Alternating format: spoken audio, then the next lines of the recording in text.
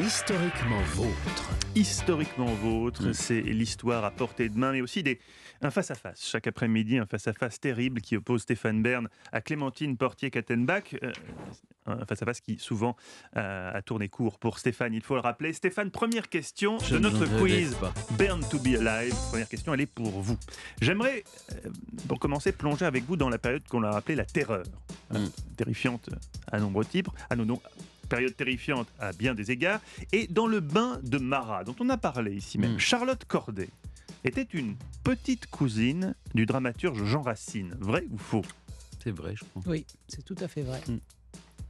Vous avez C'est ce que j'appelle un quiz qui démarre nièce. bien. C'était une nièce. Elle était, elle était sa. sa- Ah non, sa- c'est Corneille, attends.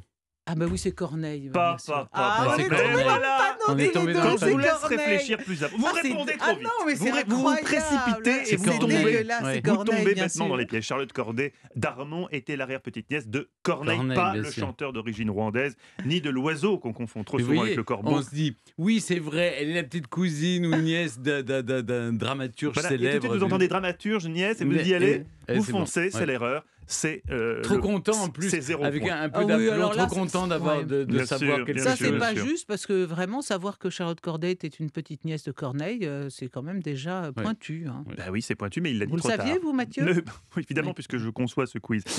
Question numéro 2 pour vous, Clémentine Portier-Kaltenbach. J'aimerais évoquer avec vous une date incroyable. Dimanche 29 avril 2001, aux alentours de minuit, la France découvre mi-médusée, mi-excitée, la fameuse scène de Jean-Édouard et Loana dans la piscine lors de la première saison du Loft. On est au cœur de l'histoire, hein, s'il vous plaît.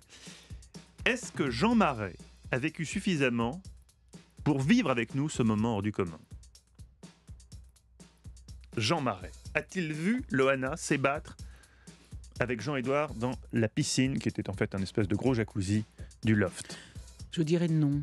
Euh, non, je, je- je pense, je lui souhaite d'ailleurs d'avoir euh, Échappé d'avoir échappé à ce D'avoir spectacle cassé sa tragique. pipe avant.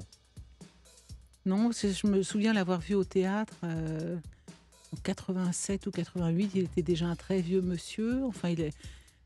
Donc, euh, non, je- je- Non. je- j'espère pour lui qu'il n'a pas assisté à ce, ce spectacle. Vous avez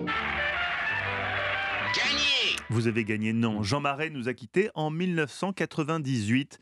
Le loft, c'était en 2001. Jean Marais est mort en novembre. Petite conciliation, il a pu assister au fameux France-Brésil de la Coupe du Monde de foot. Et ça, c'était beaucoup plus important que la scène de la piscine dans le loft. Question numéro 3 pour vous, Stéphane Bern. Évoquons maintenant le sadomasochisme. Une question qui a été spécialement rédigée pour vous, visiblement. Le sado vient du marquis de Sade, le masochisme de Léopold von Sacher-Masoch.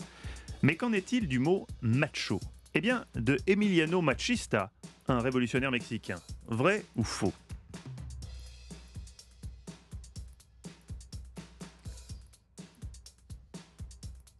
Je savais pour, euh, pour le, le- Vous savez pour Sado, le baron Mazoc. vous saviez pour le baron Mazoc, dont descend d'ailleurs, euh, dont descend euh, cette grande chanteuse. Jeanne ah.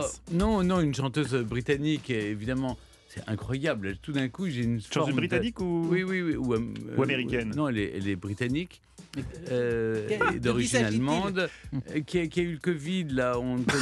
euh, on Ça fait beaucoup de monde, la liste est longue. Oui. Je ne sais pas, elle est jeune, elle est de quelle Non, génération, elle Stéphane peu- Elle est un peu Elle était un âgée. peu âgée elle Oui, est- c'est pour ça que ça s'est pas très bien passé. Yvette Ornay. Non, elle est Nana britannique. Ah oui. Non, britannique, Oui, je on- vous dis. je sais pas, j'essaie parce que vous, tout se mélange de votre tête, donc je me permets de poser des questions. Mais c'est Qui est cette chanteuse vous rock, elle est super Kim rock. Wilde. Elle est super rock, Oui, et elle vous est Bonnie Tyler. Non, Non, c'est euh, plus Plus- âgée. euh, Plus âgée que Bonnie Tyler Non, euh, Elle est- Patti Smith Non, elle est américaine, Patti Smith. Elle n'est pas anglaise. c'est pas Patti Smith. Bon, je vous retrouverai ça, peu importe. Alors, est-ce que. Je non. cherche une, une authentique anglaise. Je cherche, je cherche, j'essaie de vous aider. Euh, Mais j'ai l'impression que vous vous égarez. Donc, est-ce que macho, c'est on le est c'est très loin de la question. Je vous demande si mach- mach- macho vient de Emiliano Machista, un révolutionnaire Écoutez, je vais dire oui parce que ça me plaît bien. ça vous plaît Ouais, Vous, ça me vous plaît. auriez aimé le connaître J'aurais bien aimé le connaître. Vous avez Eh ben lui pas, puisque c'est totalement faux. Macho vient de l'espagnol. Si vous parliez espagnol, vous le sauriez. Mais ça non. signifie mal, mais avec une notion de courage derrière, alors que chez nous c'est plutôt péjoratif. Hmm. Là-bas c'est plutôt euh, laudatif. Question numéro 4 pour vous, Clémentine Portier-Kaltenbach. En 1895, Monsieur Willem Röntgen découvre les rayons X. Et ce, grâce au hasard le plus total. Vrai ou faux?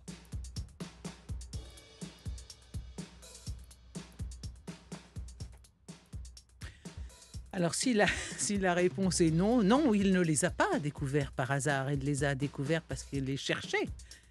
Oui, il les a découverts par hasard, bien sûr. C'est une chose qui est fort bien connue. Non, vous n'en savez rien, mais vous Donc, avez... je réponds mais, oui. mais c'est Oui. votre raisonnement. Voyons Vous voir s'il est payant. Vous avez Ah, elle gagné. forte, Et bravo. oui, il voulait faire une expérience avec des faisceaux lumineux d'électrons traversant un tube à vide, comme beaucoup d'entre nous le dimanche quand on s'ennuie. Il faisait sombre dans son laboratoire et sur un panneau accroché à un de ses murs, il a découvert une ombre avec un contour squelettique fait des os de sa main. Euh, Comme il ne connaissait pas ce nouveau rayonnement électromagnétique, il a appelé ça rayon X. Ah, c'est la sérendipité. C'est que La de sérendipité. Et je crois, en termes de sérendipité, nous allons vivre un grand moment, puisque Stéphane Mann a retrouvé le nom de cet Marianne artiste. Faithful. Ah, Marianne ben voilà. Moi, je encore- pensais à elle sans trouver son nom. Effectivement, encore Ouais, une, c'est Marianne encore Donc, plus elle a eu le Covid et descendait de sa chère Mazoc.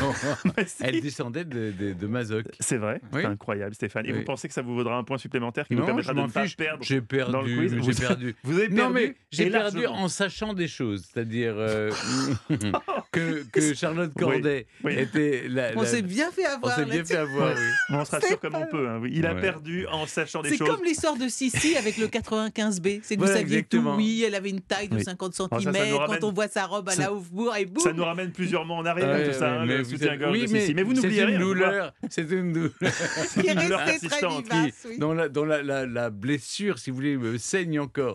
La blessure est à vif, elle le restera encore, encore quelques mois. Merci. Ouais, c'est celle d'amour propre. Les Bravo. blessures d'amour propre sont les pires. Bravo quand même Stéphane, bravo surtout à vous Clémentine Portier-Keltenbach.